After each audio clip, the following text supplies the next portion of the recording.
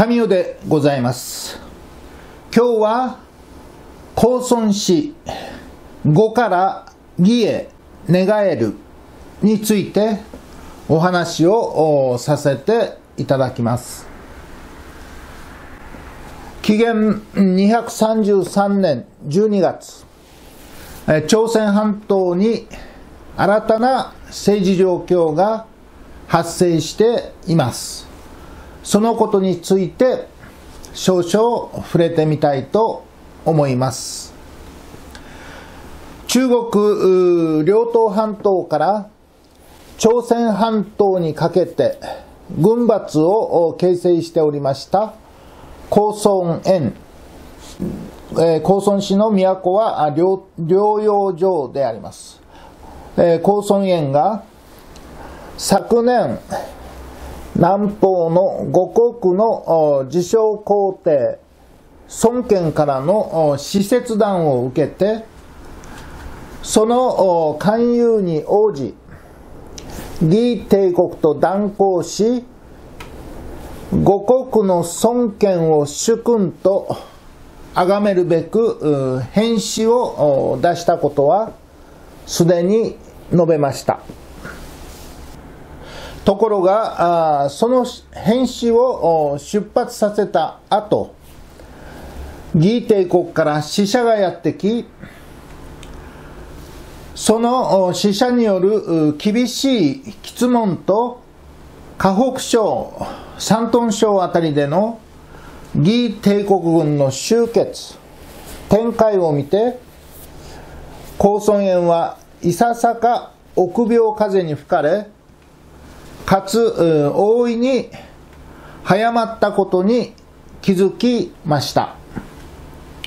義帝国はいまだに中国大陸の北半分部分ですね。北部半分を完全制覇する大帝国だったわけです。ことにその皇帝明帝は名君との誉れ高い人物で外政はもとより内地の面でも数々の業績を上げておりました。これはちとやりすぎたか。高尊園は反省しました。今しばらくは義帝国との間に平和を保ち自国内の軍事力の増強に努力せねばならないことを痛感しました。そういう折のその年、えー、紀元233年ですね。その年12月こともあろうに南方の五国の孫権が高尊園の返信をままともに、えー、受け取り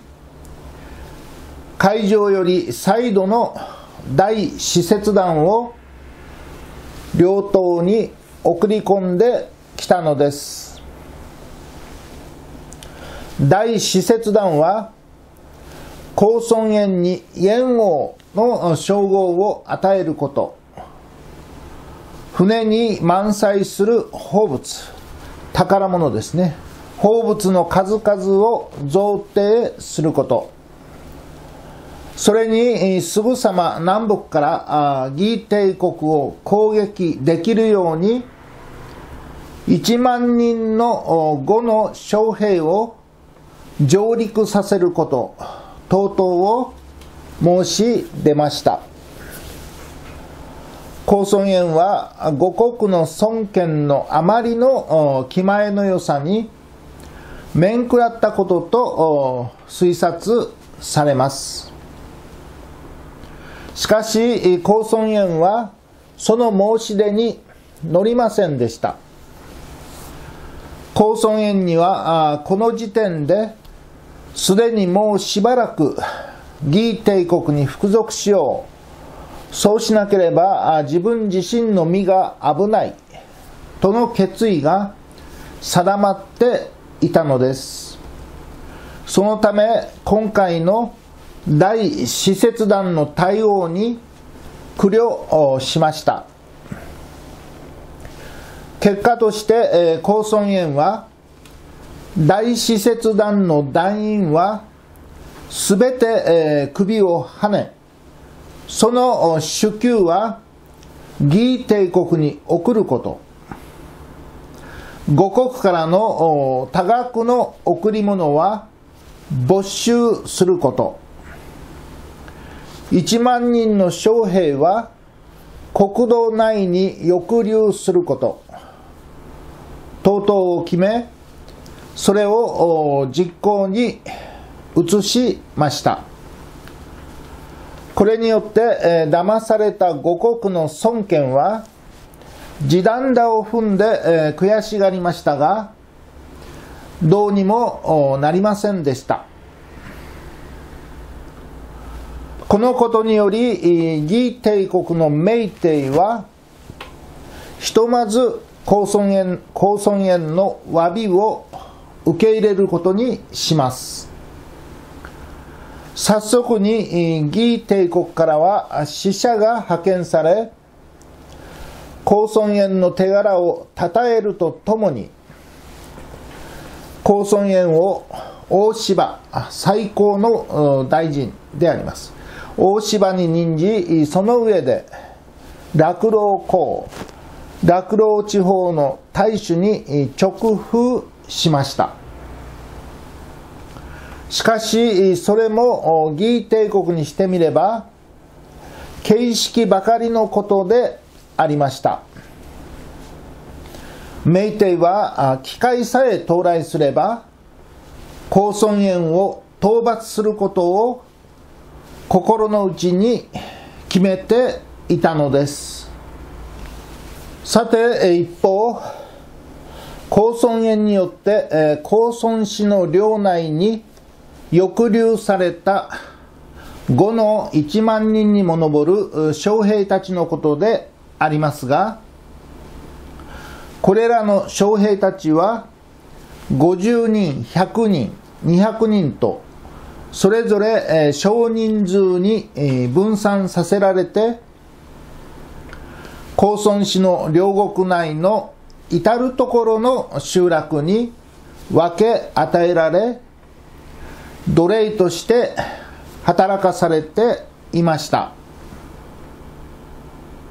そんな中にあって玄都軍の首都玄都城に配置された者たちもいたのです。この玄都城というのは高村市の首都療養から東北200里ばかりのところにありえー、遼寧省武順市であります。人家あ200個ばかり。北方の高句麗国に対する防衛の第一線に当てられていたのでありますが、ここにも約60人の5の将兵が奴隷として民家に分け与えられておりました。そのうちの少量格のもの新丹長軍都督公共という4人がこのままでは後に帰れるあてもない。逃亡して近くの高句麗へ逃げ込もう。ということを決め8月19日の夜を期して城壁城壁を飛び降りて脱出しました。逃亡した4人は山路をはるばる東方の高句麗国へ向けて歩みを続けました。やがて数千里。4人は守備よく高句麗国の都元都城現在の吉林省周安市であります。元都城にたどり着き高句麗王当選王ですね。コークリ王の保護を受けることができました。コークリ王は五国及び4人の御人に大いに興味を示し両党を我が領地として賜るものなら五国と同盟を結んでもよいと言いました。4人の御人はこの好意的な高句利王に対面しその上でその高句利王の使者を五国へ堂々するべく高句利国の使節団の乗る船に同乗しそれらの船を案内して4人ともつつがなく五国の都兼業南京であります。兼業へ帰り着くことができました。なおこの時のこととして高句利王は五国の孫権に軍馬80頭を贈呈しています。これは当然に高句利王が五国の孫権の行為を売るために献上したものでありましたこの時点にあって高句利王はよほどに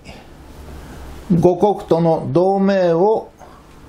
望んでいたのです。ともあれ、これによって新たに五国と高句麗国との間に同盟関係が成立することになります。五国の孫権はこれ以降高句麗国に多大な軍隊を送り込んで南北から高孫園を攻撃しその恨みを晴らす計画に没頭するようになるのです最後までご視聴いただきありがとうございました。次回はスサノオ玉木那国に進出するについてお送りします。よろしかったらチャンネル登録をお願い申し上げます。